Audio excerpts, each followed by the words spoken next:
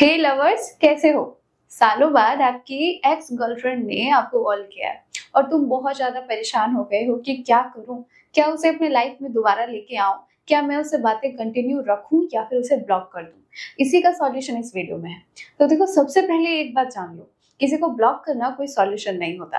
जब तुम उसे ब्लॉक करते हो तो आपका जो दिमाग है, तुम्हारा दिल और दिमाग तुम्हें बार बार फोर्स करता है कि उससे बात करता हूँ। क्या बोलना चाहती थी? बार बार तुम उसी चीज़ पे अटके रहोगे और फ्रस्ट्रेट होते रहोगे। इसीलिए ब्लॉक करना सॉल्यूशन तो नहीं है। तो क्या उसे एक सेकेंड चांस दे दिया जाए? अपनी लाइफ में उसे फिर से वापस ले आया जाए? क्या रात को घंटों घंटों से बात किया जाए? देखो, ये सॉल्यूशन नहीं है। देखो, दिल तुम्हें तो कहेगा कि तुम उससे फिर से बात करना शुरू कर दो बट तुम्हें दिमाग की सुननी है। क्योंकि दिल तो बच्चा है जी, वो हमेशा इमोशंस के साथ चलता है। बट आपकी साइकोलॉजी और आपका दिमाग जो है, आपको हर सिचुएशन के हिसाब से सही और गलत बताता है कि कौन सी चीज़ें हैं तुम्हारे लिए सही रहेगी और गलत होगी। तो अपने दिमाग की सुनो और कुछ प्रैक्टिकल चीज़ें हैं जिसे करो ताकि तुम परेशान ना हो कि उससे बात करे या फिर ना करे। तो नंबर वन चीज़ है कि जब वो कॉल करती है तो तुम फ्रस्ट्रेट हो जाते हो। कि मुझे इसका कॉल पिकअप करना चाहिए या फिर नहीं करना चाहिए, बात करूँगा तो मुझे पुरानी चीज़ें हैं जो याद आने लगेंगी, फिर मैं हर्ट होऊँगा। तो सबसे पहले कि बातें कंटिन्यूसली ना करें और कॉल उठाने का पिकअप करने का एक प्रॉपर टाइम देखे, खुद को रेडी करें, तभी जाके कॉल करें। बार बार उसे कॉल करने दें, दस बार, ग्यारह बार बार बार वो फ्रस्ट्रेट हो, तुम फ्रस्ट्रेट ना हो। उसको एक ही बार में, अपनी लाइफ में फिर से री एंट्री देना, एक ही कॉल में सही नहीं है। सबसे पहली बात तो ये जानो कि क्यों आई है वो वापस। वो क्या चाहती? दोबारा रिलेशनशिप में आना चाहती है या सिर्फ़ तुमसे टाइम पास करना चाहती है, बातें करना चाहती है या तुम्हारी लाइफ का अपडेट चाहती है? ये सारी चीज़ें पता करो, उसके बाद आपको नंबर टू जो सबसे इम्पोर्टेंट काम है वो करना है। देखो, अक्सर क्या होता है ना कि एक्स की बातें जो है आप किसी से शेयर नहीं करते। तो ये बात बिल्कुल गलत है। अपनी जितनी भी बातें हैं जो आपको स्पेशली परेशान करती हैं, उन बातों को सबसे क्लोज फ्रेंड जो है आपका, जो आपकी सारी चीज़ें समझता हो, उसके साथ शेयर करें, खुद को थोड़ा हल्का करें। ऐसा नहीं है कि सारी बातें आप अपने दिमाग में ही रखें। देखो, अब उसकी बातें तो तुम सुन रहे हो, बातें भी कर रहे हो, लेकिन खुद का मूड खराब मत करो। मूड खराब करने की ज़रूरत नहीं है। जो पास्ट है, वो पास्ट है। उसे रिकॉल करना छोड़ दो।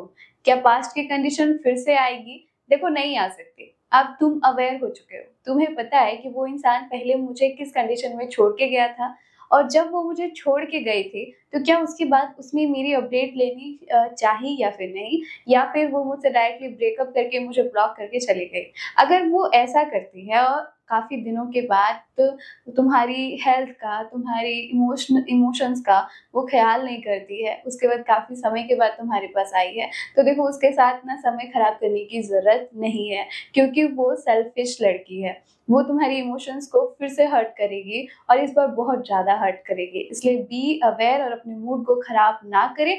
उसे एक जस्ट नॉर्मल पर्सन की तरह ही ट्रीट करे कि हाँ ये मुझसे बात करने आई है, मैंने बात किया बट इसके बातों को इतना सीरियस नहीं लेना है। नंबर थ्री है एक्सेप्ट एवरीथिंग देखो, जो जैसा उसको एक्सेप्ट करो। हाँ एक समय था जब तुम उसके लिए मरते थे और उसकी सारी बातें तुम्हें अच्छी लगते थे और तुम एक दूसरे के साथ काफ़ी लंबा समय गुजारा स्पेशल मोमेंट्स भी हुए इवन तुमने फ़िज़िकल रिलेशन भी बनाए एवरीथिंग बट उन चीज़ों को कोचना सही नहीं है। जो पास्ट में हो चुका उसे प्रेजेंट में ठीक नहीं किया जा सकता और उसको लेकर फ्यूचर के लिए सोचा भी नहीं जा सकता।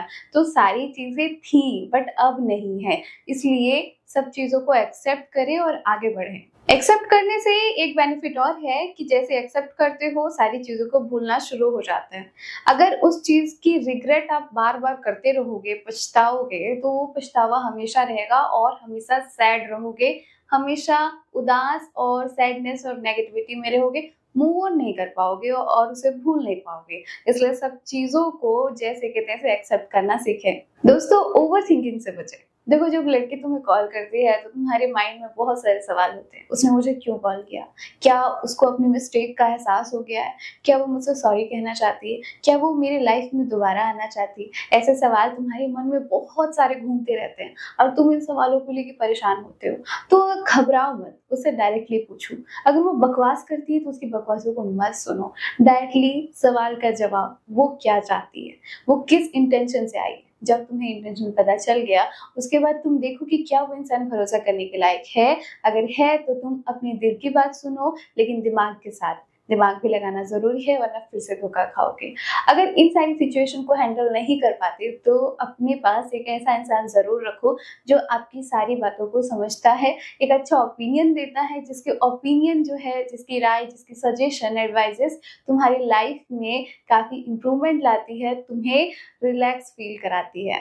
मेरी बात मानो, ऐसा इंसान अपने ऐसे इंसान से अपनी सारी बातें शेयर करने से तुम्हें जो फ्रस्ट्रेशन है वो नहीं होगा टाइम वेस्टेज नहीं होगा और इमोशंस हर्ट नहीं होंगे। होप सो वीडियो काफ़ी अच्छी लगी होगी तो एक लाइक का बटन ज़रूर दबाना और नेक्स्ट वीडियो में मिलते हैं। Thank you